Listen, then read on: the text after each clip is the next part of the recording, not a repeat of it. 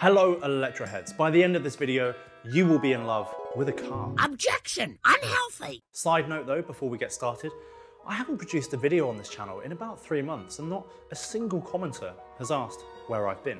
Hello, darkness, my old friend. But I'm back and I'm here to talk to you about the most exciting electric car so far. If you are an electric car enthusiast, then it's likely that you will have had a conversation with a friend that goes a little something like this.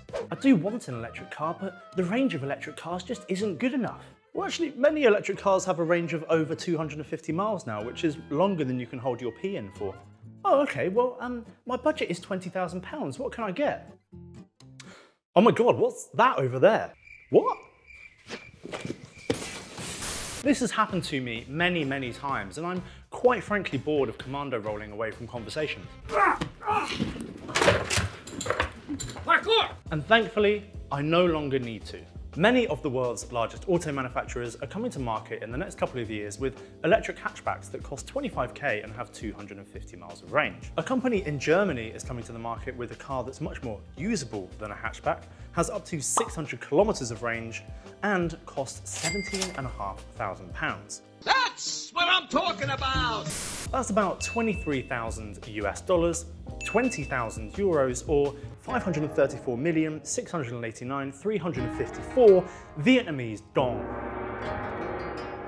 We've actually covered this car on the channel before in videos about the most exciting electric cars coming to the market soon, but it deserves its own video. There aren't actually many YouTube videos on this car, and if the marketing is to be believed, I think this could be one of the most important cars that comes out in the next decade. I'm talking about the mighty, the wonderful, the adorable X-Bus. Look at this thing. Don't you just want to give it a little hug? It's a modular vehicle that can be a pickup truck, a camper van, a surf wagon, a people carrier. It can do everything. The X-Bus first caught my attention when I was looking into solar-powered vehicles. The roof of the X-Bus is covered in solar cells, which provide an additional source of energy alongside plug-in charging. It's a bit like the Sono Motors Sion, a car I told my former colleague Jack about, who then left to join Fully Charged and then went to Germany and did his own video on the Sono Motors Sion.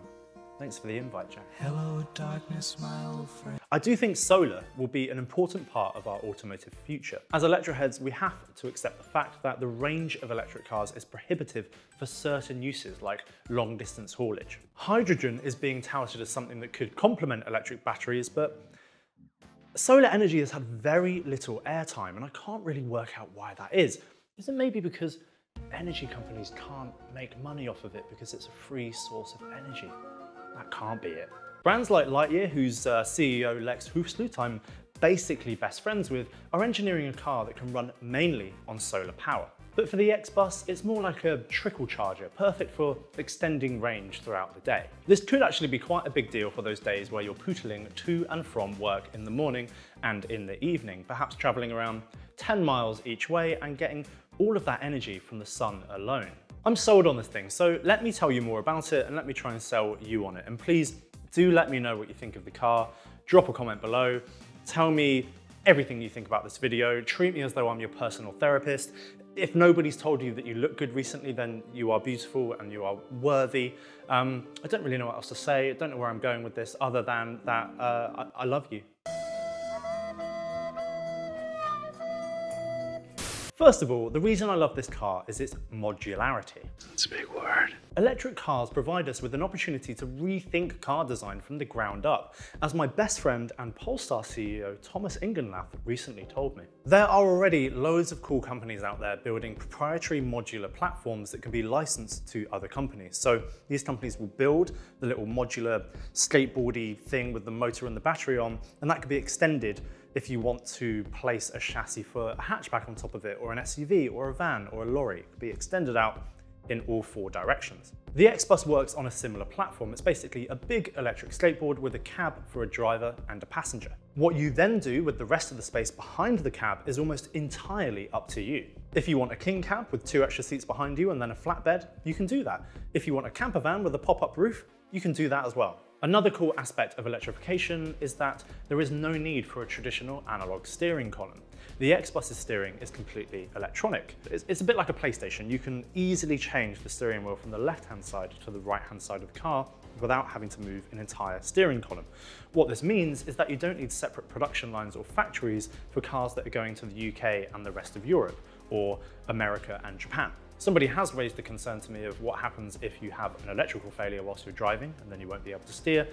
I think when it comes to electric cars, if you have electrical failure, you're basically fucked anyway, so let's just move on from that one. All of these different modular passenger configurations are really cool, but it's also customizable under the hood, so to speak. Let's take a look under the hood.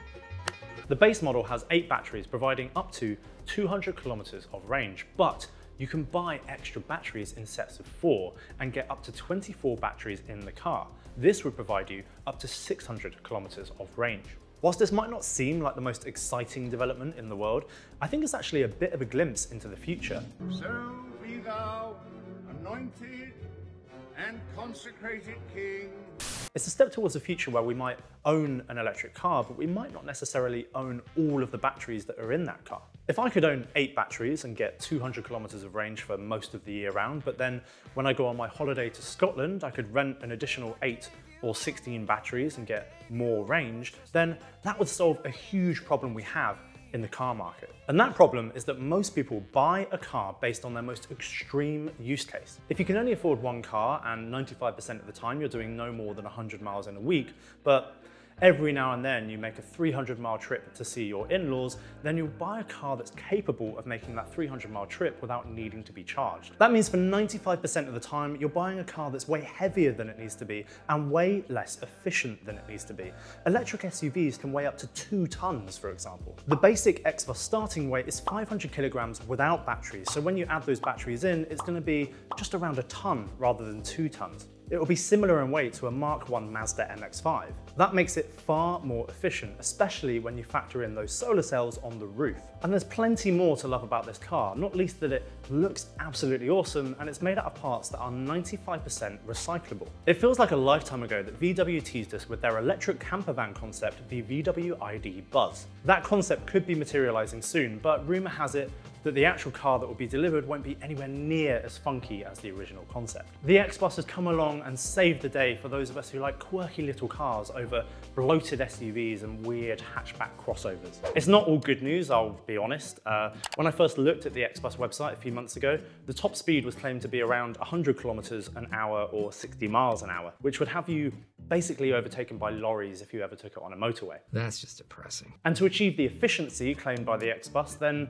the 0 to 60 time would basically be about the length of this YouTube video. That said, this original data seems to have disappeared from the X-Bus website and has been replaced by a claim that the speed will be over 100 kilometers or over 60 miles an hour. To be honest, as long as it's around the UK speed limit of 70 miles an hour, then I would be perfectly happy. There is an upside to all of this though, which is that the 10 kilowatt hour batteries only take three hours to charge from your standard home power supply. That's a three pin plug. So if you just carry like a really long extension cable with you, then you'll never have a problem charging. If you get low on charge somewhere and there's no charging station nearby, you could just run a cable to like the nearest Starbucks or something or to somebody's house and just charge in a few hours. Anyway, right, enough of my biased evangelism. If you want more info on the spec, then head over to electricbrands.de. I'll leave you with this. Cars are unnecessarily large these days. They are unsuited to our urban environments and they are inefficient, especially ICE cars. We need to rethink four-wheel travel and cars like the X-Bus get me way more excited than yet another SUV with a lackluster range. The addiction to these larger cars is fueled by FOMO and fear. People see their neighbours buying the new massive Land Rover Defender and they react by wanting something that's equally as flashy. Some people just want something that's big enough to not get absolutely demolished by a car of that size if they ever end up in an accident, and that's perfectly fair. It's on all of us to change this behavior, and when it's time for me to buy my next car, the X-Bus is the exact sort of thing that I will be looking at. We need to prioritize efficiency and utility over everything else. Right, Electroheads, thanks for watching. I'm really interested to know what you think about this car and where it sits on the current car landscape. So let me know. Thanks again for watching, and I will see you next time.